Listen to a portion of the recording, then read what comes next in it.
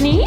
Birthday, birthday, Keshni. Happy B Day, happy B Day, Keshni.